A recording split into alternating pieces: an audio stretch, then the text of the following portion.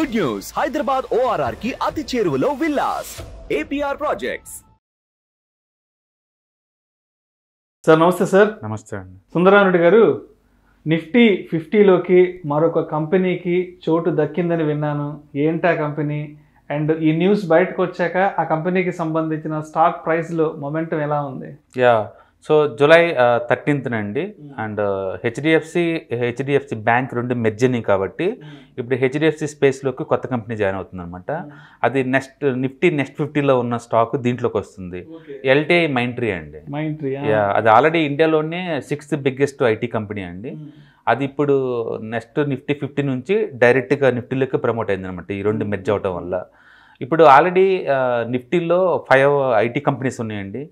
TCS Wipro Infosys and HCL technologies and ఇప్పుడు L and T Mindtree and ఇంకొకటి మొత్తం six అయినాయి అనమాట దీంతో పాటు కలుపుకుంటే.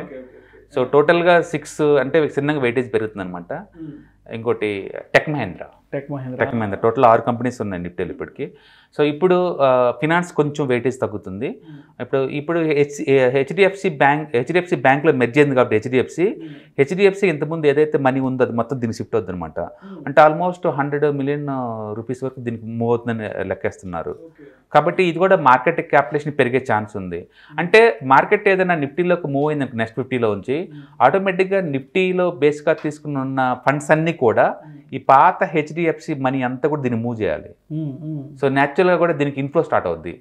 హెచ్డిఎఫ్సికి ఏమో అవుట్ గోయింగ్ అవుట్ గోయింగ్ ఉంటుంది. ఆ మనీ ఆ మనీ అంతా కూడా ఇది ఇది రీప్లేస్ అవుతుంది అనమాట సపోజ్ నిఫ్టీ బీస్ మీ దగ్గర నిఫ్టీ ఈటీఎఫ్స్ ఉన్నా నిఫ్టీ ఇండెక్స్ ఫండ్స్ ఉన్నా నిఫ్టీని బేస్గా తీసుకొని ఎలాంటి ప్యాసివ్ అలా రియాక్టివ్ ఫండ్స్ కూడా ఆ మనీ అంతా హెచ్డిఎఫ్సి మనీ అంతా యాజ్ ఇట్ ఈస్గా దీనికి మూవ్ చేస్తారనమాట కాబట్టి దీని ఫ్రీ ప్రోటీన్ తక్కువ. హెచ్డిఎఫ్సికి ఇంతకుముందు హండ్రెడ్ పర్సెంట్ ఫ్రీ ప్రోటీన్ ఉండేదండి. బట్ ఎల్ఎన్ ఎల్టీఐ మైంట్రీకి free protein stocks hardly thirty five percent ఏముంది అంతే కాబట్టి ఈ స్టాక్ ఎక్కువ డిమాండ్ ఉండే ఛాన్స్ ఎక్కువ ఉంది. సో అదేవిధంగా ఈ న్యూస్ వచ్చినాక మరి యా డెఫినెట్గా మైంట్రీలో ఈ స్టాక్ సంబంధించిన ప్రైస్ మొమెంటం ఎలా ఉంది? యా ఇది పాజిటివ్గా మూవ్ అయిందంటే సేమ్ న్యూస్ వచ్చిన రోజు అది ఆల్రెడీ త్రీ పర్సెంట్ పెరిగింది. లాస్ట్ ఫోర్ ఫైవ్ డేస్ నుంచి ఐటీ స్టాక్స్ మొత్తం బాగా మూవ్ అవుతున్నాయి కాబట్టి ఇంకో త్రీ పర్సెంట్ అయింది మొత్తం మీద అప్పటి నుంచి ఇప్పటి వరకు చూసుకుంటే ఒక ఫైవ్ పర్సెంట్ మూవ్ అయింది. సో ఓవరాల్గా నిఫ్టీలో ఈ ఐటీ స్టాక్స్ వెయిటేజ్ ఎంత కొంత స్లైట్గా పెరిగిద్దండి. అండ్ ఇప్పుడు మేజర్ స్టాక్స్ ఇండియాలో అంటే ఇవే. కాబట్టి కాబట్టి క్వాలిటీ ఉన్న స్టాక్స్ కాబట్టి ముందు ముందు రోజుల్లో ఇది పర్ఫార్మెన్స్ బాగుండే ఛాన్స్ ఉంది.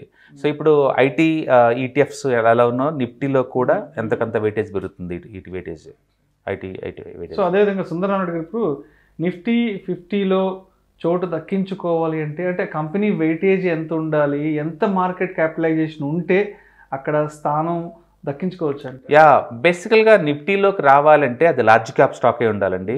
అంటే రెండోది అది ఎఫ్ అండ్ ఓలో ఉండాలి ఖచ్చితంగా స్టాక్ ఓకే. యాక్చువల్ డీమార్ట్ రావాల్సింది but DMart F and O లేదు.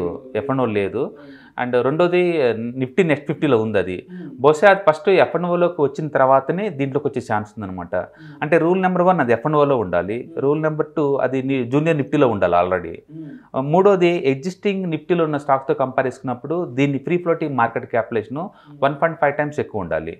ఇంపాక్ట్ కాస్ట్ అంటారు. ఇంపాక్ట్ కాస్ట్ అంటే మనం ఒకసారి స్టాక్స్ని యాభై లక్షల వరకు ఆర్డర్ ఇచ్చామనుకోండి స్టాక్ రేట్ పెంచకుండా అవన్నీ ఎగ్జిక్యూట్ అయ్యేలాగా ఉండాలి. లిక్విడిటీ బాగుండాలి. అంటే ఫ్రీ ఫ్లోటింగ్ ఇవన్నీ బేస్గా తీసుకొని ఇండెక్స్ మేనేజ్మెంట్ చేసి ఎస్ఎన్పి వాళ్ళు డిజైన్ చేస్తారనమాట అయితే ఇక్కడ హెచ్డిఎఫ్సి స్పేస్ వేకెంట్ అవుతుంది కాబట్టి అర్జెంటుగా నెక్స్ట్ స్టాక్ని రీప్లేస్ చేయాల్సి వచ్చింది. యాక్చువల్గా ఎల్టీ ఎల్టీఐ మైంట్రీతో కంపేర్ చేసుకున్నప్పుడు ఇంకా ఫిఫ్టీ స్టాక్స్ దీనికన్నా ముందు కీలో ఉన్నాయండి. వాటన్నిటి దాటి ఇది వచ్చిందంటే బికాజ్ ఆఫ్ ది ఇది ఆల్రెడీ ఫ్రీ ఫ్లోటింగ్ కొంచెం బాగుంది. అండ్ ఐటీ సైడ్ ఉంది. అండ్ ఫినాన్సీ అంత ఎక్కువ లేవు దానికన్నా ముందు. ఆ- అందుకని ఆ ప్లేస్ మొత్తం తీసి దీనికి ఇచ్చినట్టున్నారు. బట్ దీనికన్నా ముందే రిక్వైర్మెంట్ ఫిఫ్టీన్ వరకు కిలో ఉన్నాయి. ఇప్పుడు దీని ప్లేస్ని జిందాల్ స్టీల్ రీప్లేస్ చేశారు నెక్స్ట్ ఫిఫ్టీలో ఓకే? అలాగే ఫైనాన్షియల్ నిఫ్టీలో కూడా హెచ్డిఎఫ్సి మిస్ అవుతుంది కాబట్టి దాని ప్లేస్ని వీళ్ళకి ఇచ్చారు. అది మన ఎల్ఐసి హౌసింగ్ ఫైనాన్స్ కూడా ఇచ్చారు. ఆ ఫైనాన్స్ సర్వీసెస్ కూడా. అట్లా మొత్తం షిఫ్ట్ అవుతా ఉన్నాయి కొంచెం అటు ఇటు కొంచెం ఇటు అనమాట ప్రమోషన్ మీద. మొత్తానికైతే ఎల్టీఐ మైంట్రీ అనేది ఇండియాలోనే టాప్ ఫిఫ్త్ కంపెనీగా అవటానికి రెడీగా ఉందండి. బహుశా వన్ ఆర్ టూ క్వార్టర్స్ కల్లా ఇది ఇండియాలోనే ఇప్పుడైతే sixth biggest IT company. Next ఫిఫ్త్గా మార్చే ఛాన్స్ ఎక్కువ ఉందన్నమాట. సో మొత్తానికి టెక్ మహేంద్ర హెచ్ఎల్ టెక్నాలజీ వీటి మధ్య పోటీ హెవీగా ఉందండి. సో చూడాలి ఎలా ఉంటుంది అనేది సో ఏదైనా సరే ఫినాన్స్ వెయిటేజ్ కొంచెం స్లోగా తగ్గిద్ది నిఫ్టీలో. ఒక స్లైట్గా one or two percent IT వాటికి పెరిగే ఛాన్స్ ఎక్కువ ఉంది. Thank you sir